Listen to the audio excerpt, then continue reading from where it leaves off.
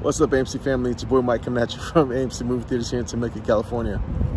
It's not financial advice, my own personal opinion. Laughing this just drove by. She's like, another video?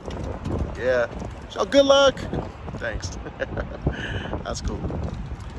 I woke up this morning and I saw the price of AMC was at $31 and some change, about to hit 32 bucks.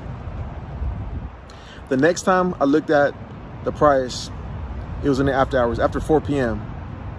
And uh, it was in the high 38s, and I believe it just crossed 39 and then went back into the 38s, and we closed at 38 and some change.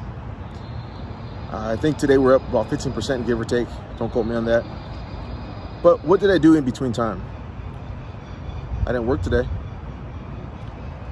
What I did was spend time with the family. We went to the pool and friends came over and we ate and listened to music. We laughed. It's a great day.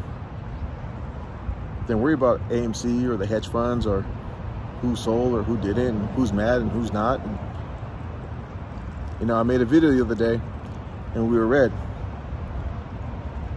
Tons of hate in my DMs.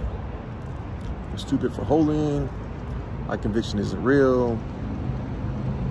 Only dumb people hold AMC. Dumb money. All that stuff, right? But here's the thing. Today, we're green. Zero DMs. Zero. Not one.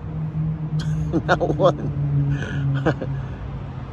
you know, only people that are doing less than you will talk shit.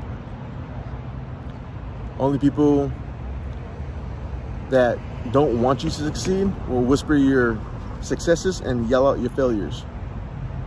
Don't associate with that. We're better than that. We're AMC. Enjoy your green day.